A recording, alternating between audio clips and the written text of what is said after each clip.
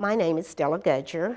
I'm the Executive Director of the Price Public Community Center and Swift Museum that's located in Rogersville, Tennessee. Dr. Franklin was actually one of the first black graduates of Maryville College. He graduated in 1880. After graduation, he then went to uh, the Lane Seminary out of Cincinnati, Ohio. When he graduated from um, uh, the seminary, Maryville College actually sent him to Rogersville to preach, teach, and establish a school. And I always thought that was such a big order, you know, of business to be able to, to do all of that. Um, but when he first came, of course, there was no school, and he had to teach out of an open frame building with newspapers on the wall. Think back on this, and I'm thinking, what a, you know, what a horrible situation to be in.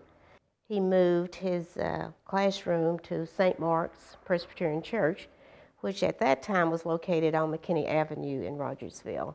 He taught there for probably about 10 years before uh, the Presbyterian churches of the United States actually built Swift College. That was built in 1893. So from that point on, uh, there there were struggles and but uh, it was the beginning of the Swift Memorial College.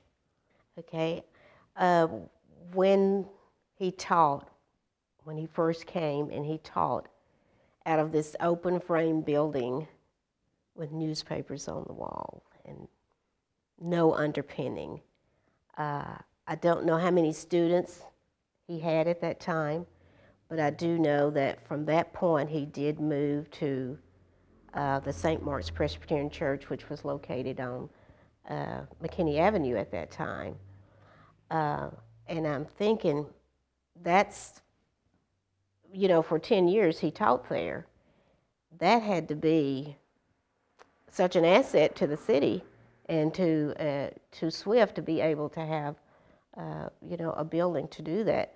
But of course, uh, we must remember that he was also the pastor of St. Mark's Presbyterian Church. So um, I'm sure he felt right at home. And then we go from there. Uh, the college was built in 1893. Then St. Mark's he no longer taught at St. Mark's, but St. Mark's was moved to the campus of the college. And from there, you know, that was a, a turning point too for the students because they had services. Well, actually, they had devotion every morning in the chapel.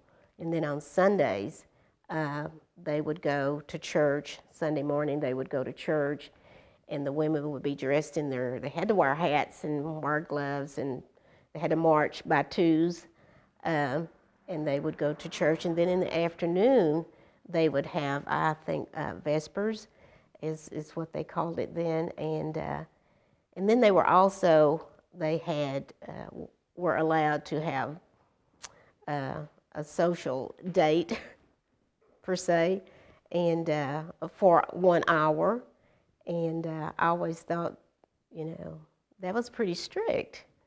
And the other things, they would like go downtown, they would have to have a chaperone. Because when you think about a high school, it was a four year high school, the students would go right into college. And so there was a lot of diversity there because we had students from the Northeast, the Southeast, and uh, also, you know, the local students. So it was a it was a big deal. I mean, I've had people often ask, well, how did you get such an elite college in this little rural town of Rogersville? And it was because of the Presbyterian churches of the United States and Maryville College.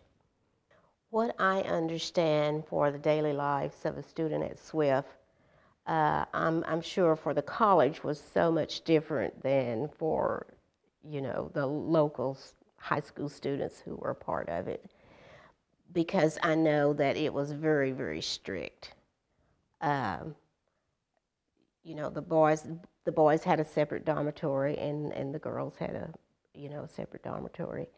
And so and it was, when I say separate, I mean that it was actually in a different location uh, with the, uh, the dormitories. But like I said, they were able to uh, socialize with each other. And I think a big thing was the sports because we had basketball and football and, and tennis. And so that was one of the highlights, I think, uh, of the school. And I think people just had a just a a fun time, really. I know there were the academics and everything, but I think there was a real connection with how the students felt about the school.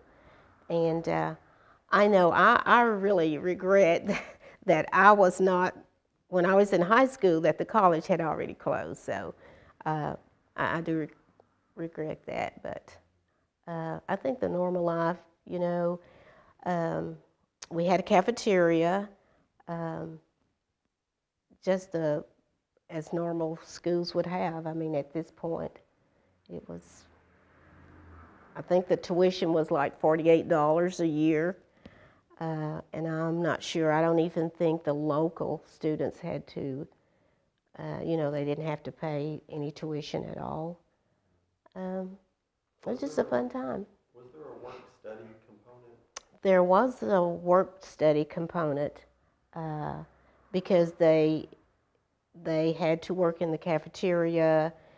They had to help do laundry because they had a laundry room, and I suppose maybe with the with the the male students, perhaps they had to uh, do other things.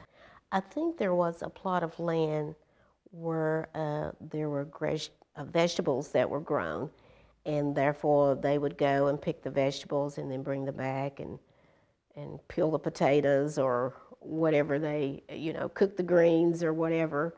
And so that was part of the component. I, I know that and i know that they did have to do laundry and i think that helped pay for their tuition. I mean being a local and not staying in the dorm uh, i'm not sure what their regiment was. I'm, I'm, I'm not sure what time they did get up, but they did do breakfast. And all of the students, when they assemble for classes, all of the stu students went to uh, the auditorium and we would have devotion. Uh, not like today. Uh, you understand, they've taken a lot of things out of the school, so, but uh, we all had devotion.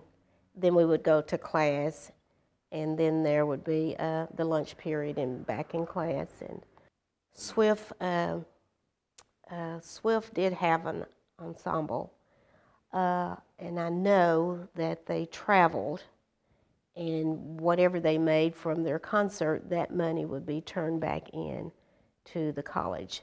I sort of visualize that it may be similar to the Fisk Jubilee Singers, how they would travel. And I know that they were very, very good because, uh, you know, they always done well. And uh, anytime there was a special event, they were they were always on program. And so everybody just, you know, you could hear a pin drop because they were that good.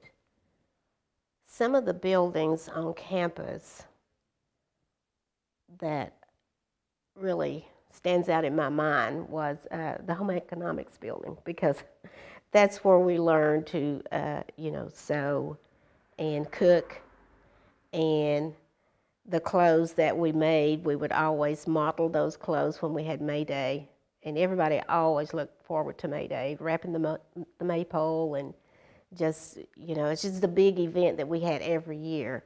We would have always have a baseball game and, uh, you know, the fashion show and wrapping of the maypole. So it was a big, it was a big deal.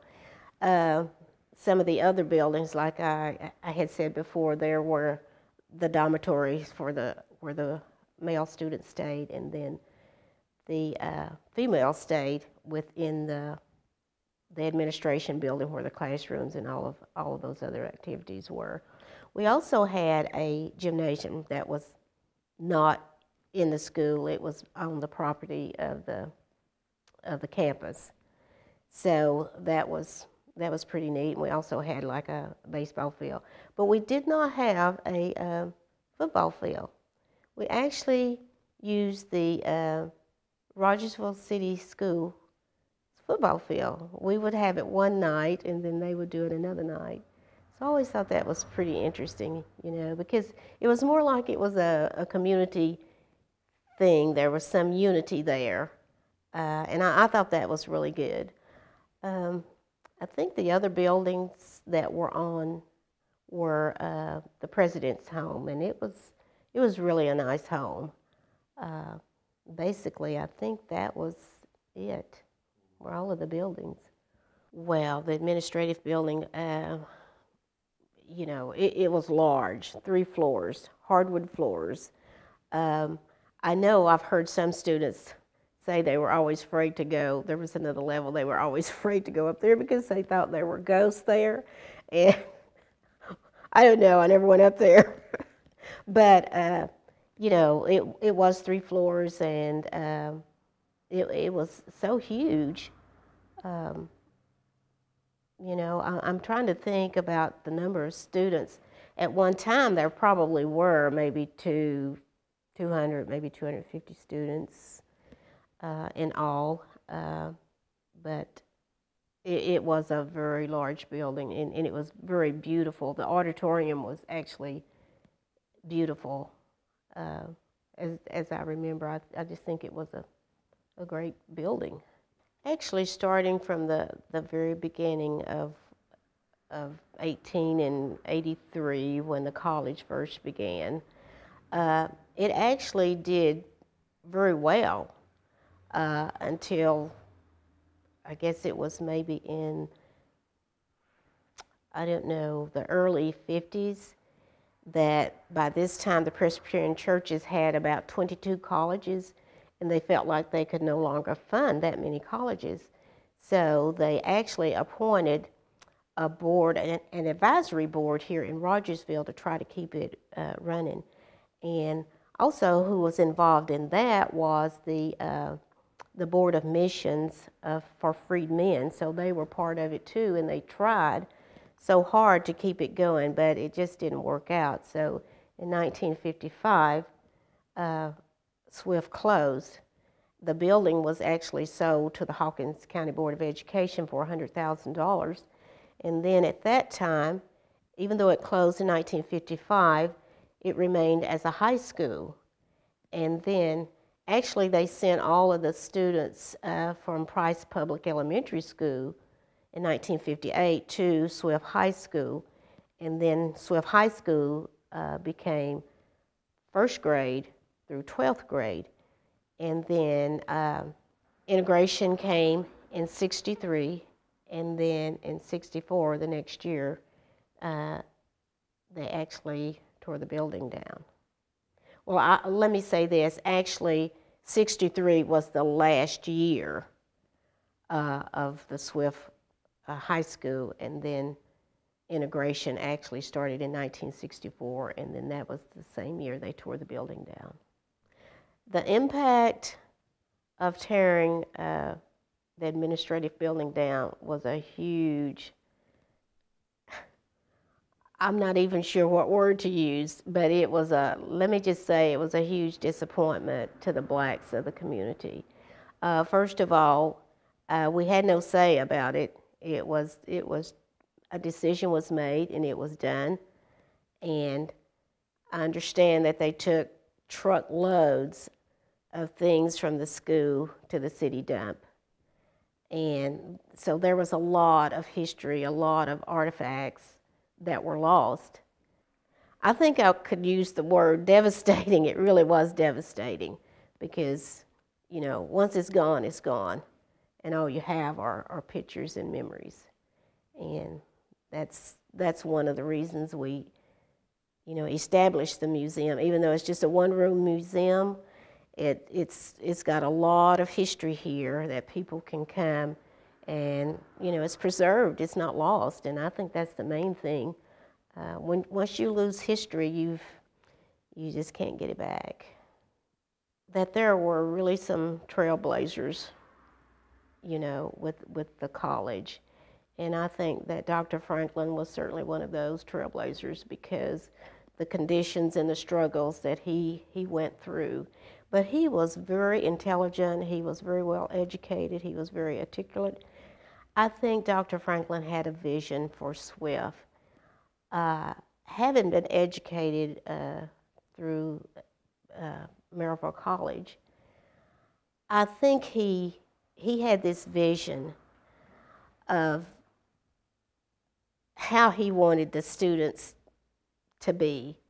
He did not want them to just be a, a student that got an education and probably could do domestic work and get a job because we have to remember there were no jobs, there were no schools after the Civil War. Well, there were a few schools in the South, but there weren't a lot of schools.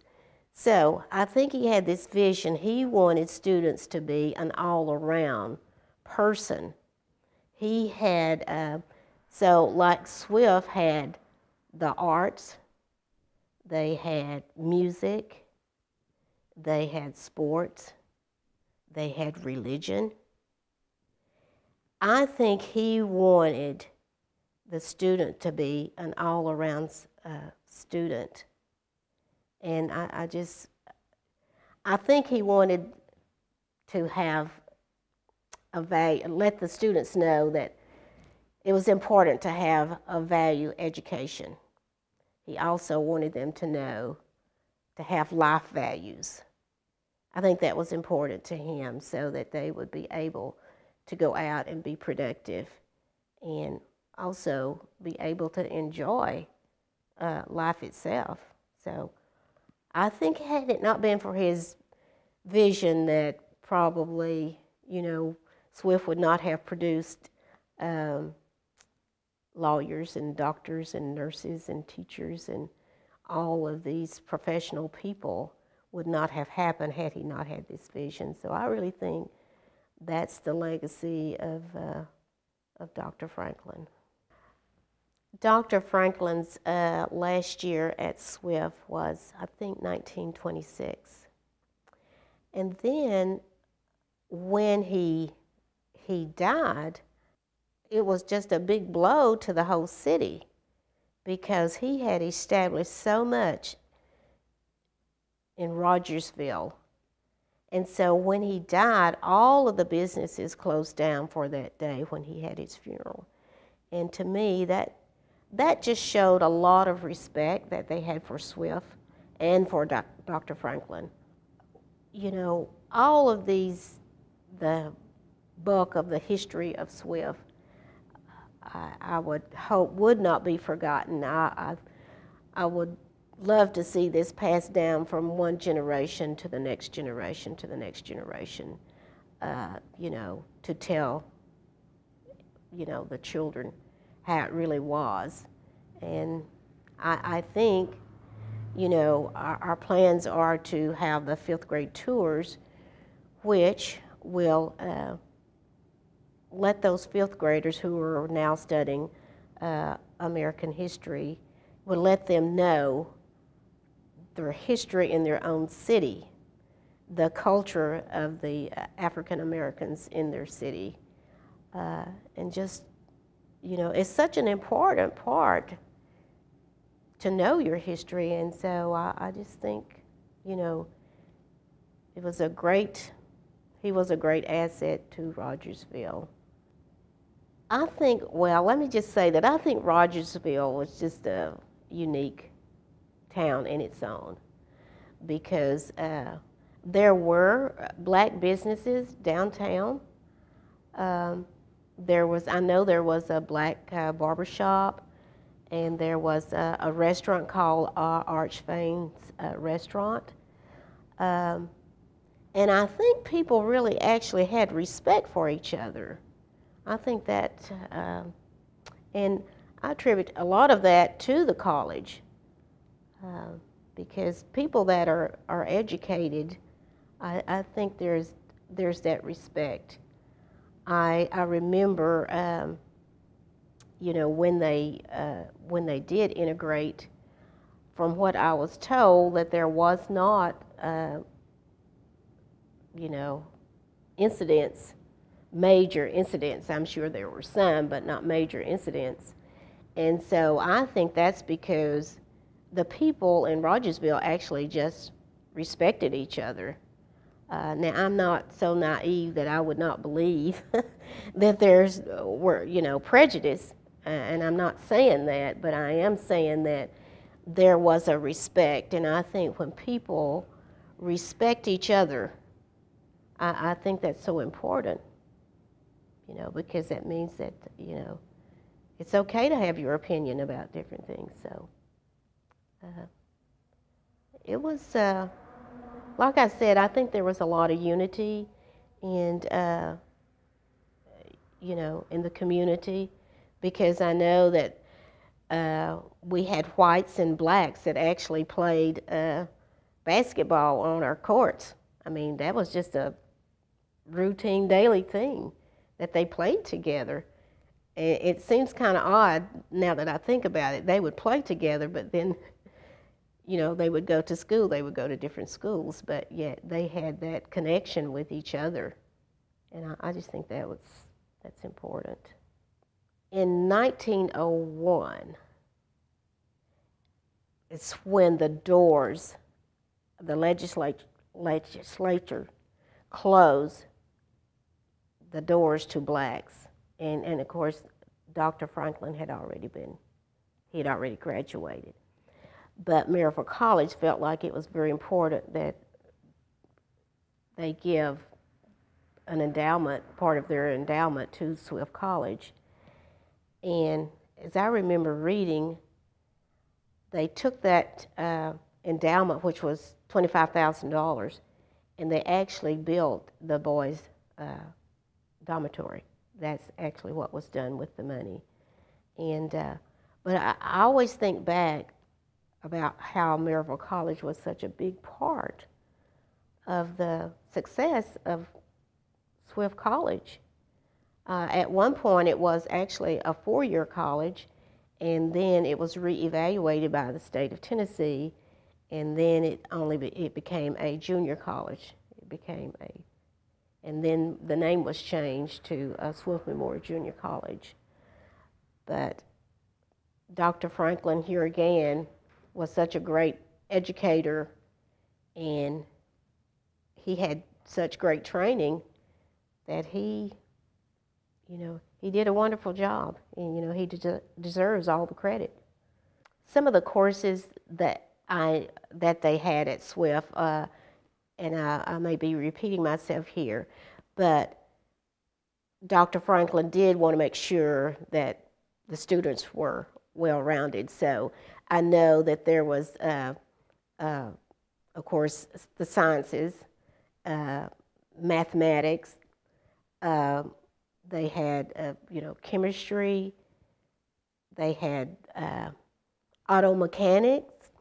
They had woodworking, and like I said, they also had the home economics where they they learn learn things, and of course they had English, just a standard, I guess, necessary criteria that they had to have in order to be, uh, you know, state funded. But um, sociology, and of course they had religion. They had religion classes.